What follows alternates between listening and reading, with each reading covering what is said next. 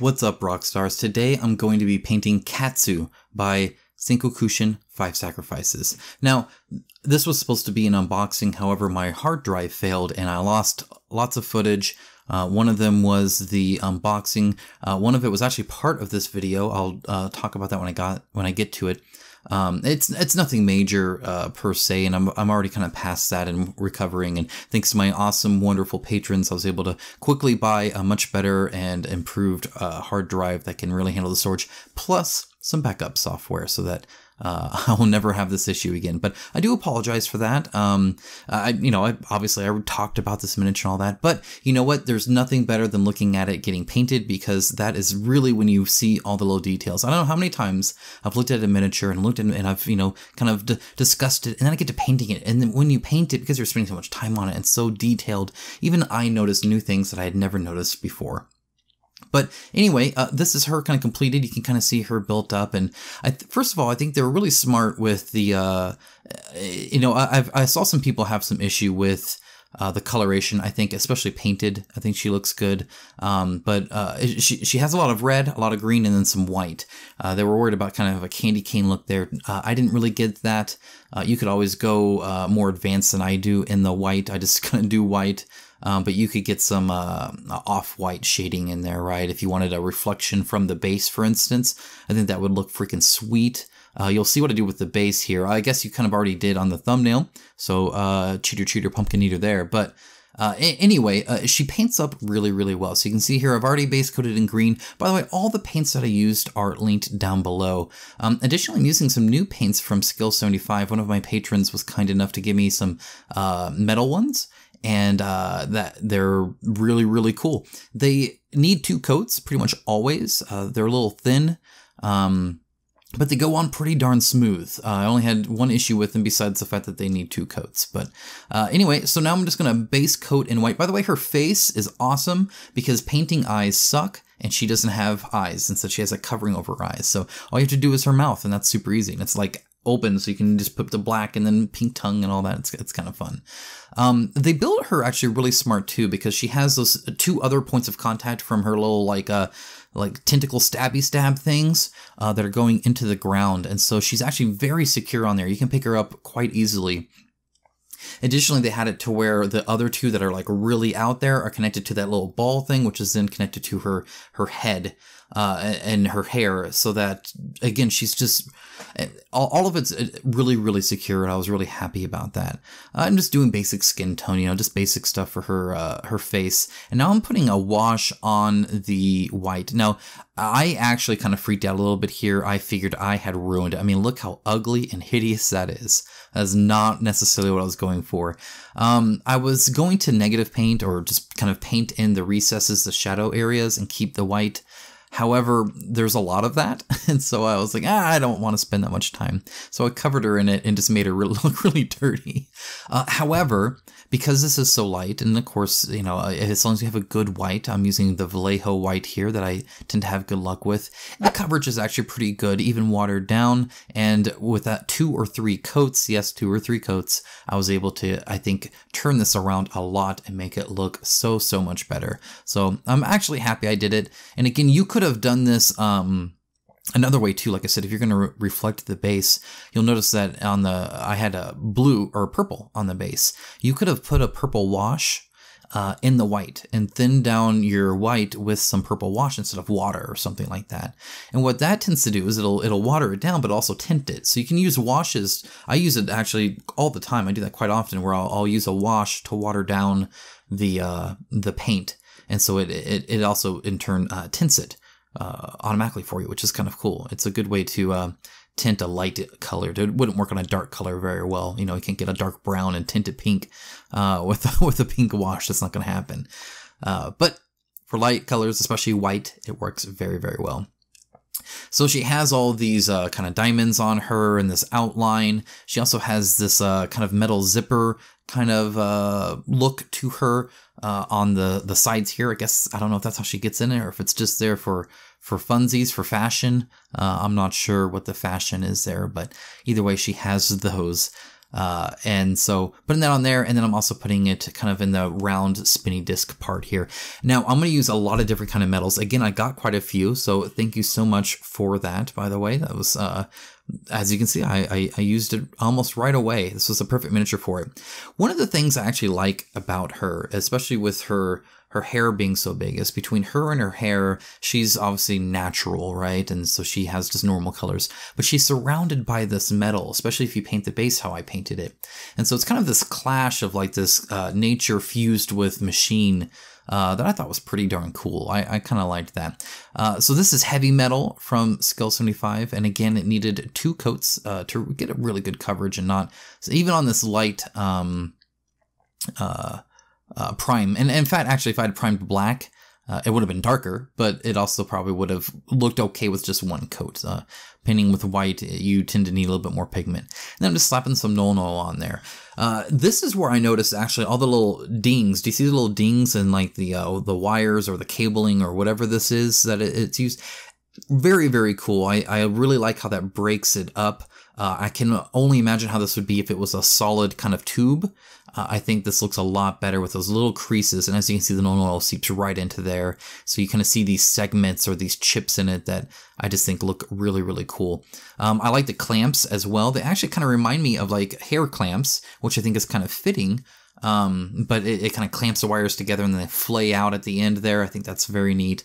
Uh, just overall, very cool design. Another thing this does, especially with kind of the, the a little bit darker silver around it, is it kind of frames her, right? So she's kind of in the middle, and then around her, both on the bottom side and the top sides, um, and above her, so like uh, kind of a all the way around her except for the base is she's uh, surrounded by this stuff and it really helps kind of draw the focus actually to her amongst all of this which i think is pretty cool. Now here's a mistake i feel like i did. So i painted all that the recesses first figuring okay i'll just paint the recesses i don't have to worry about getting it anywhere and i'll paint the purple over it.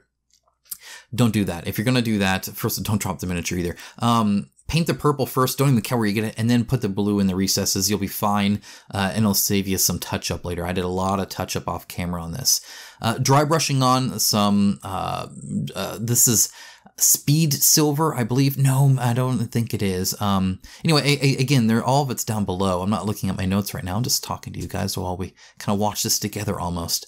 Um, but a lighter, a lighter silver, just kind of dry brushing that uh, for reflection points based off of where general lighting might be slightly overhead and maybe at an angle somewhere.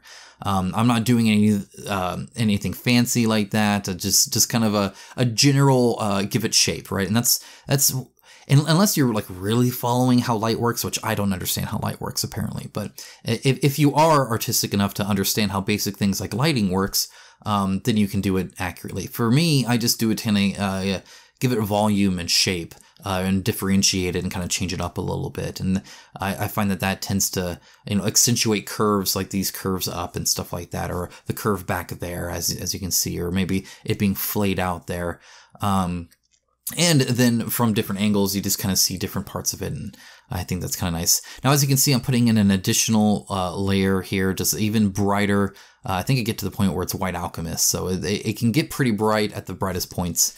And then I'm putting a very, very dark, uh, uh, this is like black metal, I think, or something like that. It's a very dark, dark, dark silver. Uh, highlights up extremely well. You don't need to use a Nuln Oil because it won't really darken it anyway. Um, and again, it, I think it uh, just complements these, uh, you know, it's still in the silver realm. If you notice, I've used three or four silvers now, um, but they all look different and they all kind of, uh, you know, act differently, even in the lighting. Uh, like this dark one just doesn't reflect as much. Um, but it still has a little bit of a shine, uh, but not like super reflective, which is nice. And again, it just generally kind of breaks it up. Additionally, because it's so dark and she's white, and then there's a kind of the bright silver, and then even the base is fairly bright, you you you do see them uh, as almost like this kind of um, you know, uh, it's not black, but it, all things considered here, it's one of the darkest colors here. And so you really notice it. And that's really the danger anyway, right? That's the weapons that she uses. And so seeing that really, uh, uh, you know, just draws attention to that a little bit too, which is kind of nice. Uh, makes them stand out, right? You want to you want to notice the weapon that they use. So this is pretty simple. This is just, you know, me coming back in with the normal silver that I've been using and uh, painting in this. I wanted to paint, again, you want to paint the recesses as much as possible and then kind of paint outward. And so I had to paint the black before I painted the silver there. And now I'm finally changing it up, but it's it's uh, towards like the red that she has here. And so it's kind of like a coppery kind of look here. Uh, again, I forget which color uh, this one necessarily is, but um, it, it, it just, again, it breaks it up and it looks like there's like this scroll kind of design work, this kind of fancy, uh, um, color there. And so I figured, well, you know what? I'll, I'll do the band, the bands in that color. And it just makes it look a little, almost like a relic, uh, not just something industrial, if that makes sense. And then of course I'm going to bring it to these. And I think that really helps these kind of uh, stand out as well because silver is kind of typically kind of almost like you hear like blue steel, right? So it's typically a cool color or associated with cool or has some blue or some purple in it. A lot of times if you leave silver, a silver paint on your wet palette and it gets too wet, you'll notice it'll separate and it'll have like this blue or purple like liquid in That's the, the colored medium that's in there that's separating from the, the metallic bits that are also in there.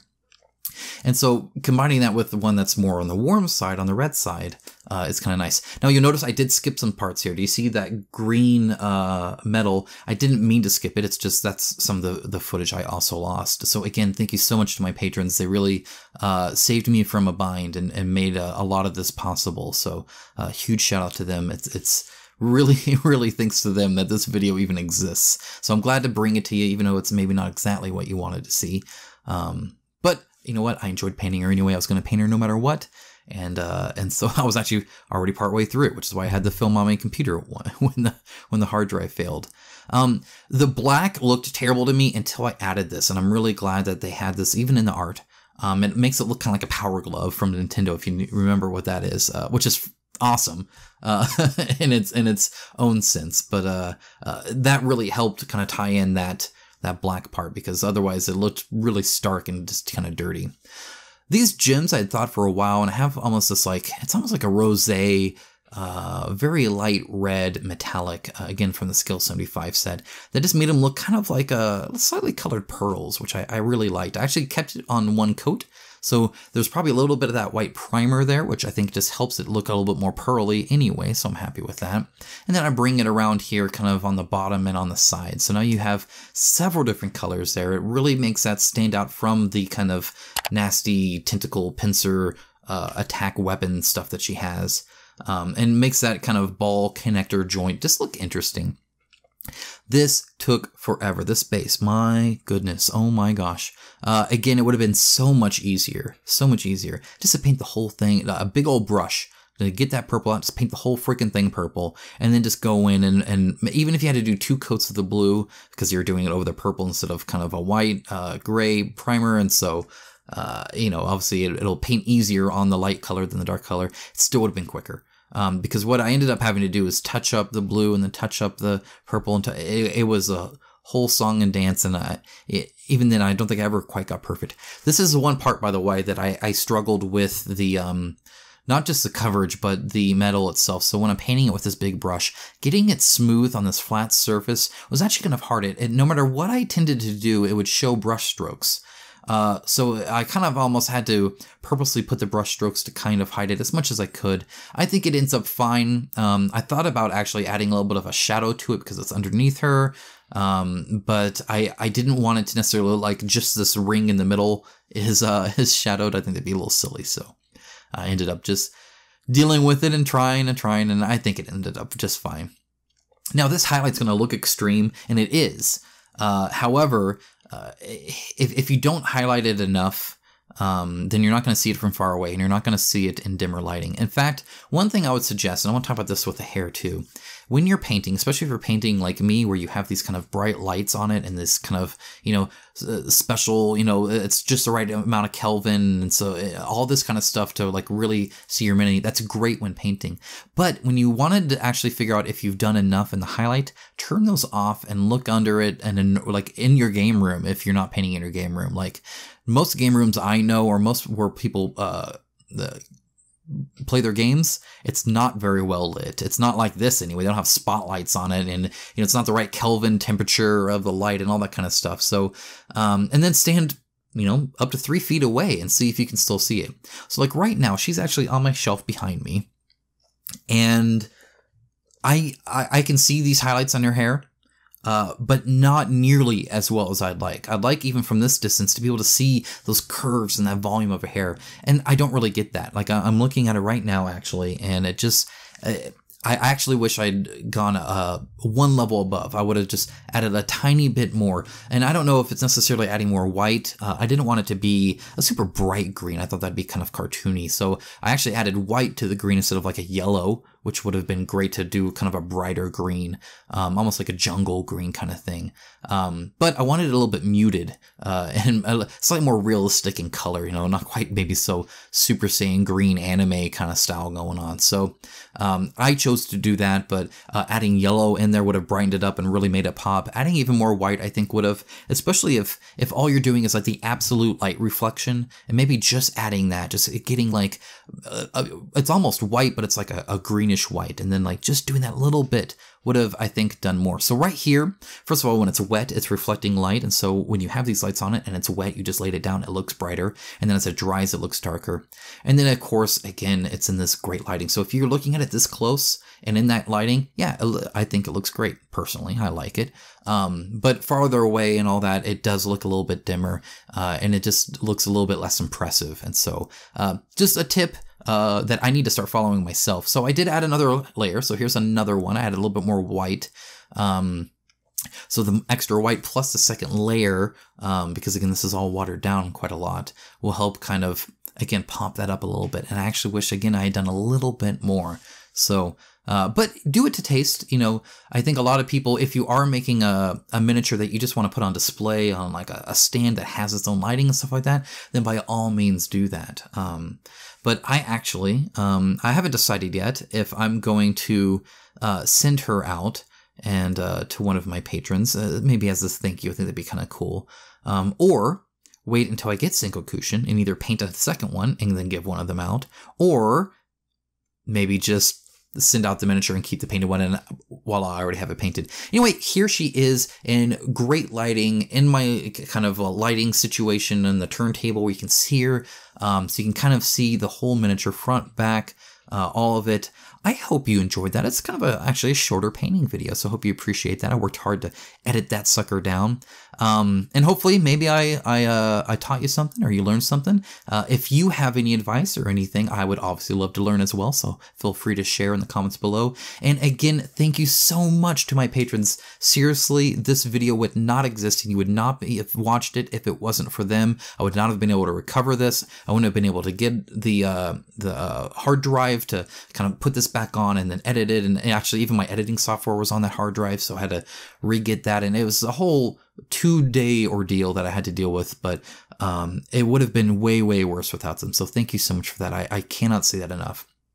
And this miniature, I mean, wow, it is so freaking unique. I have nothing else like it. She's stand like she's on a shelf with a whole bunch of others. You'll see it in my videos where you see the background. And maybe I'll point her out later, but um, it, it, seriously, she just she's unique and she stands out and she's awesome.